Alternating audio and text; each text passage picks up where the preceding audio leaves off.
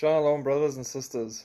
So, yeah, we've reached a convergence time frame in the end of history of mankind where things are happening so fast. If I get tied up or busy, even with a teaching or something that I'm digging into to present to you guys, just in that time that I'm busy with that, prophecy doesn't stop, the world doesn't stop, it just goes crazy. So, I am busy working on some amazing Passover revelations and insights for you that I want to drop. And uh, here, where I'm living, besides the load shedding with the power off all the time due to the corrupt state, in our last cycle yesterday of power being off, the criminals again went in and stole infrastructure. So we have been without power for 35 hours plus. Power came back for one hour and it's off again now. So that's the world we're living in right now. It's crazy. Um, it's normal for us. We roll with the punches, but it is the world that is going to be normal for everyone in the tribulation, if not much, much worse, very, very quickly. But again, due to that, I, I fall behind sometimes on the stories that come through quickly. So I'm going to do this a little bit different today. I'm going to talk you through all the stories I'm behind on that are happening now and have just happened. And that'll bring you up to speed with where we're at right now. And then I'm going to carry on working on my Passover piece. And then we'll chat tomorrow again. So here we go.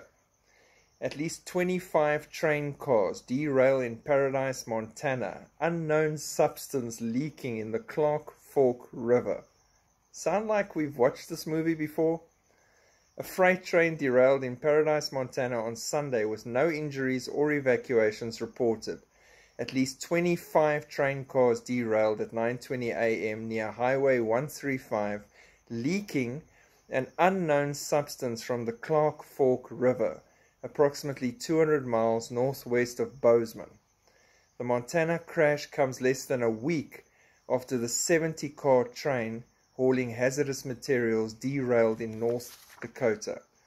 So I think at this stage of the game, if you're living in the States, maybe download a map of all your train routes and check when the trains are riding and then have a look and cross-reference that with rivers or farms or anything to do with food and then start plotting potential options. And you might actually start plotting these things before they happen because this is a program and it's happening fast. It is crazy. Um, if people don't realize this or see this yet, they're not going to realize it or see it. They're going to mark mark themselves very quickly for the beast and queue up for anything that's coming. North Korea warns the US and the allies of nuclear attack over South Korea drill provocation. Now that the US and the South Korean puppets have openly committed a military provocation against the DPRK, the latter's option will correspond to that. The US and its followers should never forget the fact that their rival state has possessed the nuclear attack capability in practice as well as the characteristics of the people and the army of the DPRK, which do not make empty talk. If he keeps doing this though, I'm sorry, but that is empty talk. North Korea flexed its, flexed its military and nuclear capabilities throughout the 11 days of joint military exercises between the United States and South Korea. South Korea and the US and Japan hold anti North Korea submarine drill. Now, you know why Kim is upset. The South Korean, US, and Japanese navies began their first anti submarine drills in six months on Monday to boost their coordination against increasing North Korean missile threats. South Korea's military said that two day drills came as North Korea's recent unveiling of a type of battlefield nuclear warhead prompted worries that the country might conduct a nuclear test this year. So, tensions rising in North Korea and South Korea and Japan. Then this one is exciting, and I enjoy this one because this has a lot of bearing on what's going to happen to believers after the rapture, those who turn to Christ after we're gone and wake up. French woman faces $13,000 fine for Facebook post calling President Macron false. False. President Macron's false. And that costs her $13,000. She's in her late 50s, the poor old lady. She's no big threat to the government, but How's that for freedom of speech and all those things? It's not a death threat or anything. If found guilty, she could be slapped with a hefty fine of $13,000 or 12,000 euros. Jail time is not on the table. The trial is scheduled to take place in June. The woman's arrest took place last Friday following a complaint filed by the local administrative office in response to her Facebook post. St. Omer prosecutor Mehdi Benbouzid confirmed the arrest and provided details. The Facebook post in question was published on March the 21st, a day prior to Macron's televised interview with TF1, where he defended his contentious pension reform plans that have incited protests across the nation.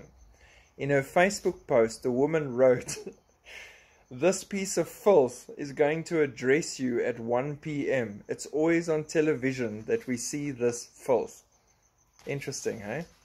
So it's going to get worse, and they're going to use this type of thing all the time, cracking down on believers in that time frame. Again, glad we're not going to be here, but we're already seeing it arrive while we're still here. Now, my favorite guy UN and Orthodox prelates condemn, wait for it, Zelensky and his moves to evict monks and seize churches in the Ukraine. Now, basically, and I won't bore you with the long article, the Orthodox Church is split between Ukraine and Russia, and he has now finally decided, even though the church has said to Putin what he's doing is wrong and he should stop because they're brothers with the Ukrainians, blah, blah, blah. He's now cracking down on the Orthodox Church from the Russian side. And he's evicting them out of their churches, out of their buildings, and out of their homes. They are refusing to go, and all the local worshippers are rallying to their support, and they've reported it to the UN as well. So he's cracking down on faith. That's what it's coming down to. Golden Boy, Zelensky, the beggar, the billionaire, the main man, the savior of humanity. Anyway, enough of that. Moving to Israel, God's clock. IDF scrambled fighter jets and downed aircraft near the Syrian border. Helicopters and fighter jets scrambled Sunday night after an unidentified aircraft crossed into Israeli airspace from Syria. The aircraft was monitored by the IAF through the incident. The aircraft was then shot down in an open area and they said that the aircraft in question did not pose a threat at any stage. According to protocol, the alarm was not activated. The incident was under review. Since that incident, they've had a second aircraft come in as well. They've now proven that both are from Iran. So, Iranian arms and shipments and equipment that survived all the Israeli bombings in Damascus and all those areas that are now being tested and used against the Israelis in preparation for what we as Christians all know is coming. So that, on top of all the other chaos happening around Israel right now, as Passover and Ramadan and Easter are all converging at a hectic speed.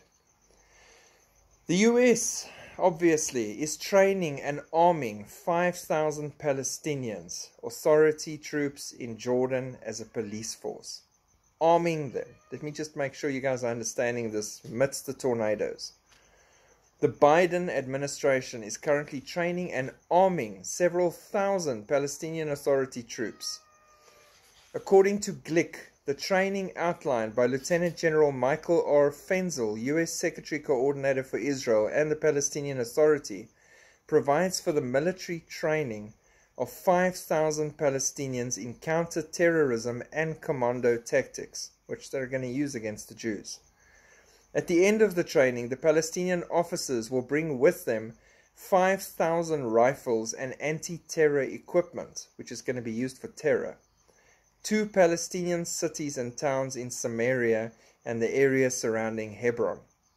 The plan also foresees the deployment of foreign forces, including US military forces, on the ground. The new program proposed by the Biden administration is distinctly unlike the original plan in that it explicitly provides guns and bullets and the training to use them, creating a special force of armed PA security forces. The PA, whose forces the US seeks to empower, is controlled by the Fatah terror group. PA chairman Mahmoud Abbas is the chairman of Fatah, and Fatah terrorists carried out most of the murderous terror attacks in 2021 and 2022. Several of those attacks carried out by PA security officers. So obviously, Biden thinks it's a wonderful plan to not only train them and equip them, but to then arm them and send them back to Israel with bodyguards from America as soldiers on the ground. So it makes it even more difficult for the Israelis to react and act against the situation. You're arming her enemies. What is the result going to be back home? Always look at that. Always. And there's always a following result back home. King Abdullah from Jordan, it is the duty of every Muslim to deter Israeli escalation against holy sites. Every time it's Passover, every time, every single time they spread these lies that the Jews are going to rush the Temple Mount and destroy everything and take it over, that they're being attacked just because people want to go and pray. They're under attack. Under attack from God pretty soon.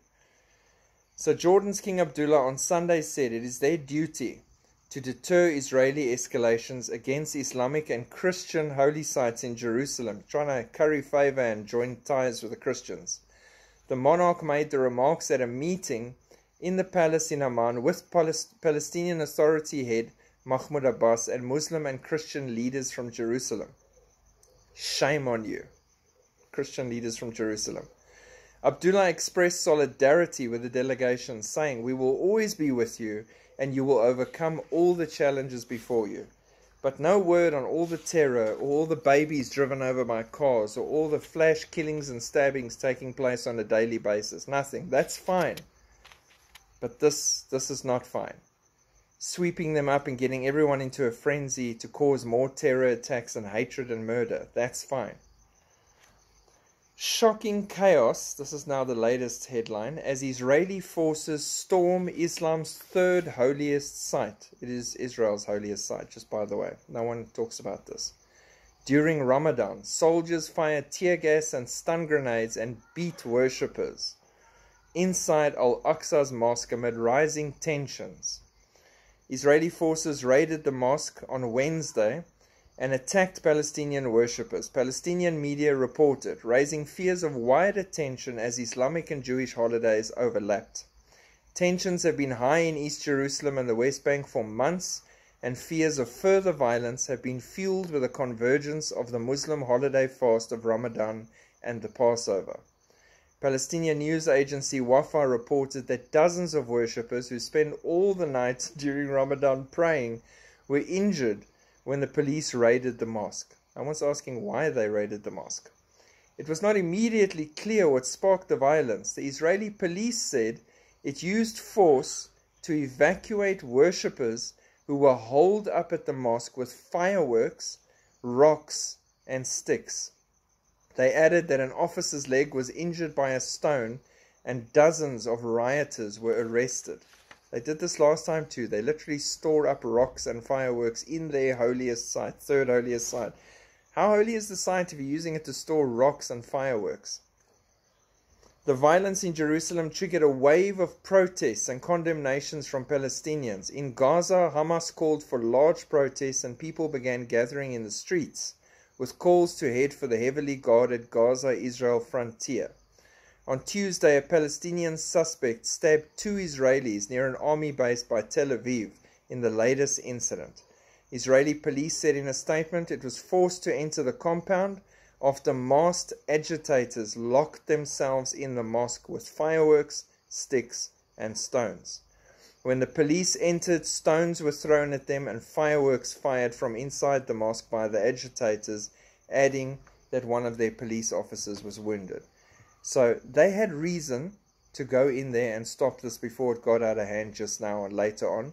And they had to go in. And they were attacked. But the media is just going to tell you that the Jews went in and attacked a bunch of peaceful people praying. If your prayers involve fireworks and rocks, you're obviously serving a demon.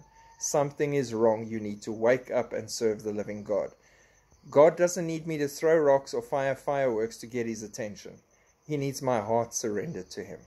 That is the difference between a loving, real God and some demonic thing represented by stone. And that is the roll up, and there's a lot more that I've missed. That is just the last two days. And I'm keeping you guys updated on the community wall as well with volcanoes and earthquakes. The birth pains are through the roof. The earth is groaning. All of nature is calling out attention for the release that's coming as the restrainer is removed. The bride is collected and snatched away, and the way is open for Daniel's 70th week, the time of Jacob's trouble, when Elijah and Moses come down to speak to them, when the 144,000 Jews go out and spread the gospel, when the angels fly across the heavens preaching the gospel of Jesus Christ. God's heart doesn't stop for mankind, even those that are too hard hearted to listen now or to turn from their wicked ways. To appoint angels to fly across the heavens that they will visibly see and hear preaching the gospel of Jesus Christ. He's desperately trying to reach those of our loved ones, those that have heard but haven't turned, and the rest with hard hearts, because He died for everybody. He's doing everything He can to give everyone a chance. Don't ever forget that. That's how much He loves us. It is unfathomable, especially now with Passover, how much He loves us, how deep is the well of His love for us. We would drown trying to find its bottom because there is no bottom. God bless you. Keep looking up. Shalom.